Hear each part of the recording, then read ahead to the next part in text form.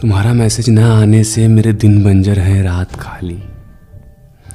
तुम्हारा मैसेज ना आने से मेरे दिन बंजर हैं रात खाली। हर रोज फीकी पड़ जाती है तुम्हारी यादों में मेरे चाय की प्याली। हर शाम फीकी पड़ जाती है तुम्हारे यादों में मेरी चाय की प्याली। कोई नया बहाना बनाओ मुझे अवॉइड करने का। कोई नया तरीका ढूंढो मुझसे दूर जाने का। ये रिप्लाई ना देने से मेरी मोहब्बत कम नहीं होने वाली।